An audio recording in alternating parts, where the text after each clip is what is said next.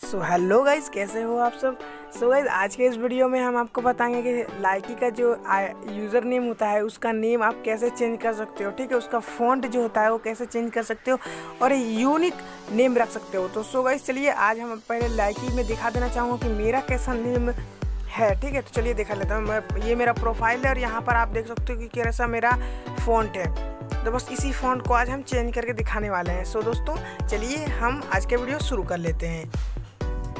सो आप लोगों को क्रोम ब्राउज़र में जाना है, ठीक है? और वहाँ पर सर्च करना है फ़ॉन्ट चेंजर ठीक है? फ़ॉन्ट चेंजर या फिर आप ऑनलाइन फ़ॉन्ट चेंजर भी कर सकते हैं सर्च और उसके बाद पहले ऑप्शन में जाने के बाद यहाँ पर इस तरह का कुछ दिख जाएगा इंटरफेस तो आपको यहाँ पर अपना नाम लिख देना जो भी है, ठीक है? अजय है, रोहित है, जो भी है, मैं मेरा नाम अजय है तो मैं यहाँ पर अजय सर्च करता हूँ। और यहाँ पर जैसे यहाँ पर मेरा देख सकते हैं, ये फ़ॉन्ट मेरा वहाँ पर लगा हुआ था। तो इस फ़ॉन्ट को आपको एक बार क्लिक करना है और पूरे में लेना है और यहाँ पर कॉपी कर लेना है।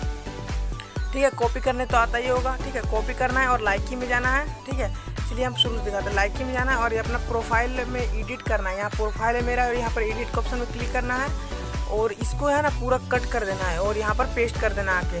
सो वैसे उम्मीद करता हूँ आज का वीडियो अच्छा लगा होगा।